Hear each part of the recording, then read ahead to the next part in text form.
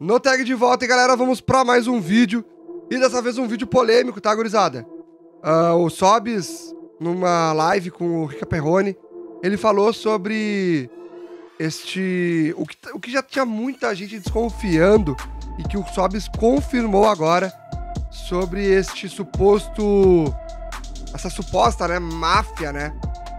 De, dos jogadores que estão se reunindo, combinando aí resultados, combinando de uh, cavar escanteios e tudo mais, por conta de casas de, de apostas esportivas. Isso mesmo, gurizada.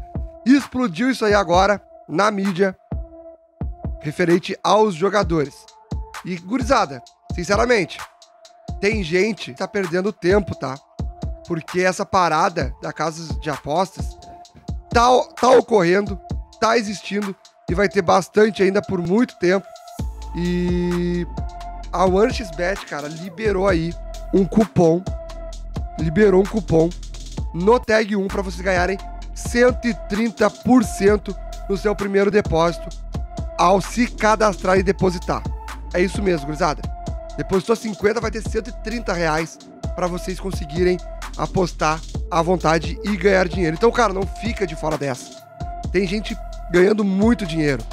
Obviamente, o que a gente vai falar nesse vídeo não é de pessoas como nós, como torcedores, como uh, pessoas que acompanham o futebol, mas vamos falar sobre caso de jogadores.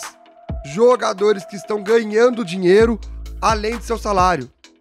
Porque tem jogadores que pegam, ganham, sei lá, numa série B 10 mil, 15 mil, 20 mil, apostam uma grana alta porque eles vão fazer os próprios resultados. Porque os caras conseguem ganhar dinheiro com apostando apenas em ah, vai ter tantos escanteios. Ah, vai ser tantos gols de, tanto, de tal jogador. Mas no, pelo, pelo dos escanteios, tu já consegue fazer muita coisa. Então é só chegar lá e ficar chutando no goleiro, ou tu combinar com um zagueiro de, de, de, dividir uma bola e o zagueiro tocar a bola para fora. E aí os dois dividem a grana. Então tem tudo isso, entendeu? Tem tudo isso de tu apostar em, ah, cara, vai ter cinco escanteios vai ter mais de 10, alguma coisa do tipo. Então é o que eu digo, tá, gurizada? Tá ocorrendo isso.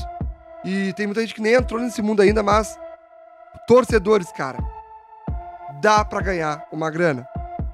Mas vamos ver o que, que tá acontecendo com os jogadores que isso pode estar ocasionando em combinação de resultados.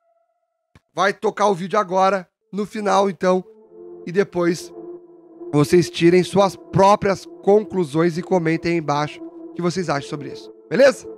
Bora pro vídeo. Se eu disser para você que tem muito jogador hoje fazendo escanteio de propósito para ganhar a casa de aposta, você já Acredito. tá vendo? Mas você já viu?